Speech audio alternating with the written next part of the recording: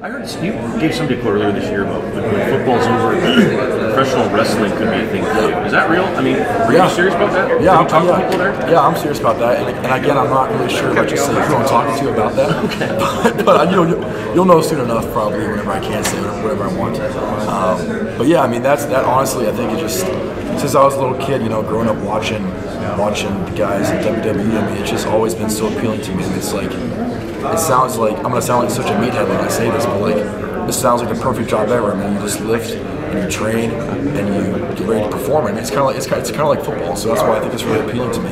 Uh, and again, I've always said that when, when football is over, hopefully it's not for a really long time, but I think I'm gonna really miss like the physical aspect of it. Uh, so I think that'd be a cool way to kind of keep it up. You got a name? You got a character?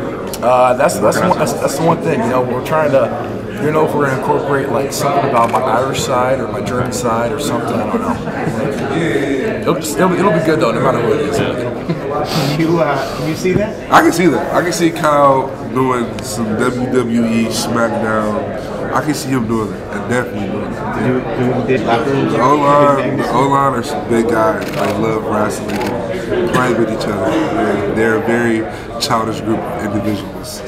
You got a name for Kyle? uh, no, I do not have a name for Kyle. Kyle is Kyle. That's just Kyle. Maybe I could be the, the ring manager. Uh, I, can, I can escort him. I can escort him. I can escort him out like WWE. What would what would you want him to be? Uh, the character, what his character would be in professional? Uh, Tasmanian Devil, maybe. Yeah. He's good when the cameras are on him, and, and um, he's obviously a massive dude, and I, I can definitely see him doing that for sure. You got a name for him off the top of your head?